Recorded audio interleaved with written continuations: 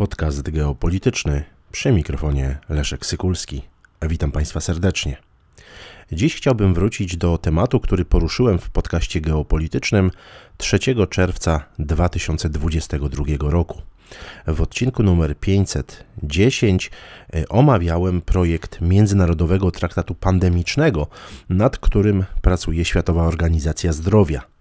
E, temat ten w roku 2022 wydawał się dla wielu środowisk tematem egzotycznym, ponieważ media głównego nurtu nadawały ton e, i właściwie prześcigały się w proukraińskiej postawie i emocjonowały się wojną na Ukrainie, prześcigając się również w nazywaniu tego konfliktu wojną pełnoskalową, a jak wiemy doskonale już z perspektywy czasu rację mieli ci, którzy uważali, że to nie jest żadna wojna pełnoskalowa i że ten konflikt prędzej czy później e, będzie zmarginalizowany, a znacznie poważniejsze sprawy e, odbywają się, odbywają się daleko, daleko od Ukrainy.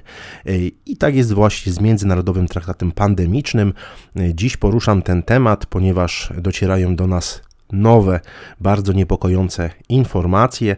Światowa Organizacja Zdrowia opublikowała kolejny projekt właśnie tak zwanego traktatu antypandemicznego, który no, może stać się takim podstawowym narzędziem tej organizacji nie tylko w zakresie e, przeciwdziałania rozprzestrzenianiu się chorób zakaźnych na skalę globalną, międzynarodową, ale także może iść znacznie, znacznie, e, znacznie dalej. 6 listopada 2023 roku odbyło się kolejne posiedzenie międzyrządowego organu negocjacyjnego, e, takiego e, ciała, które koordynuje pracę nad nowym traktatem. E, I tutaj warto zauważyć e, i podkreślić te poprawki, te nowe poprawki, które e, zostały wprowadzone, a między innymi dodano definicję strony, która, która może być właśnie sygnatariuszem tego traktatu i co bardzo interesujące, co bardzo ciekawe, może być nią nie tylko państwo, ale także e, na przykład regionalna organizacja e, gospodarcza. To ewidentne odejście od e, takiej zasady, że podstawowym, podstawowym podmiotem stosunków międzynarodowych jest, jest państwo. Tutaj mówi się wprost, że także regionalna organizacja integracji gospodarczej, jak to określono, może stać się właśnie takim sygnatariuszem tego tego traktatu. Y, w tych y, nowych y, propozycjach proponuje się także utworzenie stałego mechanizmu finansowania rozwiązań traktatowych, który ma zostać ustanowiony nie później niż 31 grudnia 2026 roku. Fundusze na ten mechanizm mają pochodzić m.in. z rocznych wkładów pieniężnych od stron tej umowy, czyli nie tylko od państw, ale także właśnie chociażby regionalnych y, organizacji gospodarczych. Y, zrezygnowano z traktatowego wymogu utworzenia kilku gremiów eksper eksperckich, które miałyby wspierać pracę delegacji państw y, członkowskich.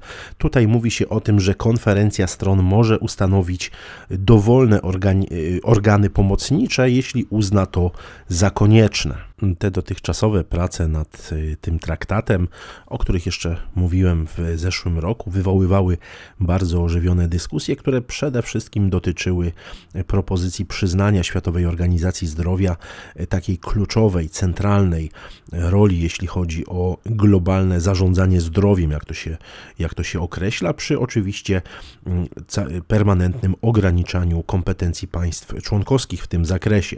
I tutaj też omawiając to w ubiegłym roku wskazywałem Państwu na te zagrożenia, jeżeli chodzi o suwerenność państw członkowskich, jeśli chodzi o politykę zdrowotną. Tutaj niewątpliwie Patrząc na ten projekt jeszcze, jeszcze z czerwca 2022 roku, widać było, że y, no, dyrektor generalny WHO y, uzyskiwałby taką kompetencję y, w zakresie polityki zdrowotnej, że właściwie no, mógłby samodzielnie ogłaszać decyzje w kwestii ogłaszania stanu pandemii, co miałoby ogromne przecież przełożenie na gospodarki poszczególnych państw narodowych.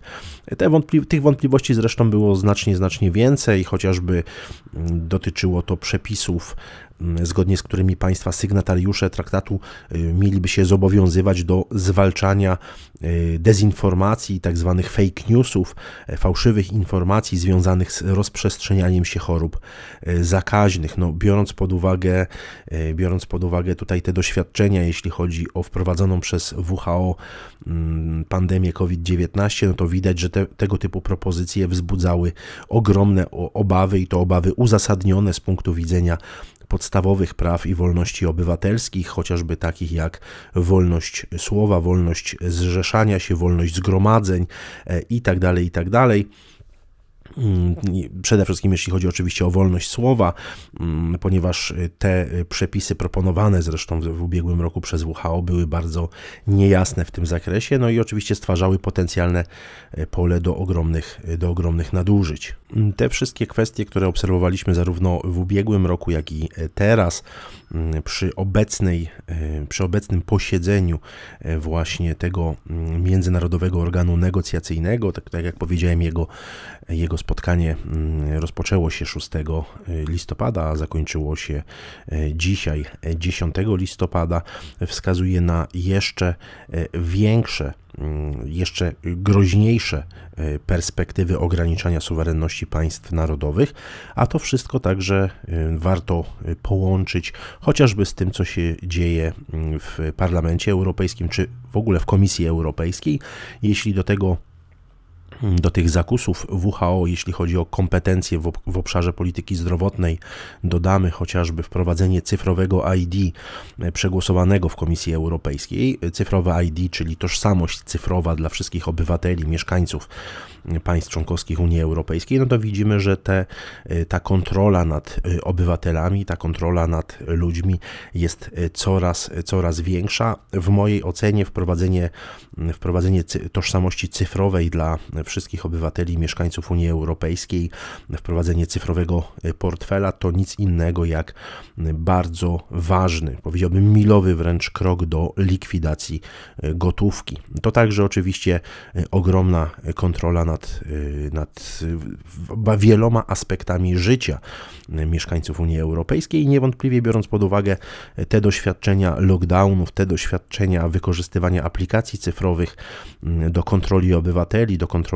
y, tak zwanych kwarantan, mm, no to widzimy, że że, że rzeczywiście ta, ten, te procesy bardzo mocno e, przyspieszyły. Niewątpliwie e, takie wydarzenia jak wojna na Ukrainie czy obecny konflikt na Bliskim Wschodzie, e, zresztą cały czas rosnący, to napięcie rośnie, bardzo skutecznie odciąga uwagę obywateli od tych bardzo istotnych, bardzo kluczowych dla wolności nas wszystkich decyzji, które zapadają na takich forach, w takich gremiach jak chociażby właśnie WHO. Zarówno w interesie polskiej racji stanu, polskiej suwerenności, jak i polskiego interesu e, narodowego jest e, to, aby mm, państwa mm, członkowskie tego typu gremiów międzynarodowych e, powinny posiadać pełną decyzyjność w zakresie kształtowania własnej polityki e, zdrowotnej, oczywiście także współpracując na poziomie e, międzynarodowym, ale tylko w takim zakresie, jaki e, umożliwia skuteczniejszą realizację mm, przeciwdziałania różnym, różnego rodzaju zagrożeniom. Natomiast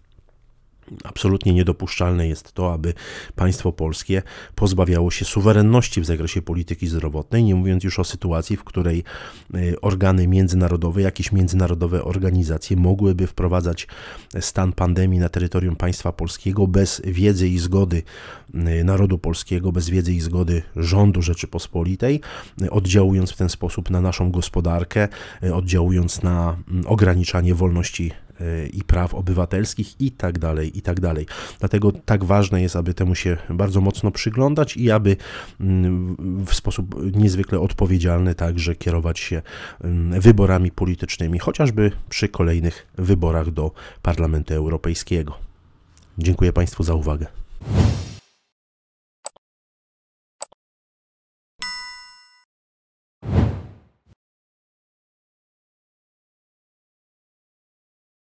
Szanowni Państwo, zapraszam Państwa serdecznie do odwiedzenia księgarni geopolitycznej, gdzie w sprzedaży jest już drugie wydanie mojej książki zatytułowanej Geopolityka a bezpieczeństwo Polski. To książka, która w sposób przystępny, pokazuje genezę najważniejszych koncepcji geopolitycznych, które kształtowały e, polską myśl geopolityczną, polską politykę zagraniczną e, i rzuca nieco więcej światła na otoczenie międzynarodowe Rzeczypospolitej współcześnie. Zakupy w księgarni geopolitycznej to także forma wsparcia dla podcastu geopolitycznego. Zapraszam serdecznie na geopolityka.info.